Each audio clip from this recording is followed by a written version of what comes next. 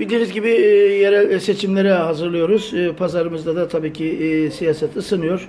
E, Belediye başkanı e, pazarlı mı olsun ya da dışarıdan mı olsun ne düşünüyorsunuz? Yani parti gözetmeksizin diyelim soruyoruz bunu. Pazarlar olmasını istiyorum. Çok teşekkür ederim. İyi çalışmalar.